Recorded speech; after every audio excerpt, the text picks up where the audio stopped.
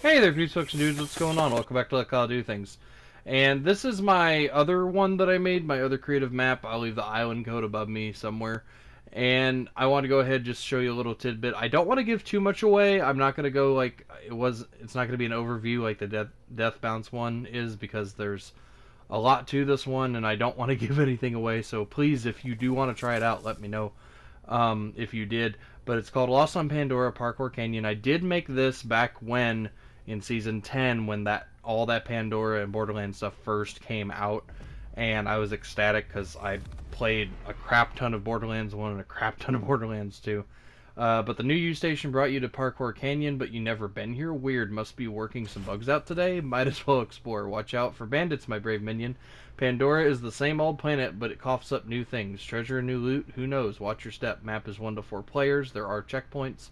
Borderlands and parkour fans, I hope you love it. Please consider using my code Let Kyle Do Things too. And all these billboards here, or chalkboards, whatever you want to call them, um, just kind of reiterate all that and gives like all my YouTube, my Insta stuff, and whatnot, which you'll see here in a minute. But I don't know. I just I tried to do something creative, something different. And I know that's like such a pun in itself, but realistically, I really, really tried on this one, and uh, this was before I even got my creator code. This was the very first thing I went to publish after I fixed a few things because it's a little bit different when you just make it and you don't have a creator code and then you actually get to publish it. So I had to add in like all all these little things that tell about the island and whatnot and my info and everything. But do do take your time because there's a story, even though it's puzzle, death run, parkour it, there is a story to it that kind of goes along with everything, and I'll leave that for you guys to still, still frame if you guys want to read a little bit of it.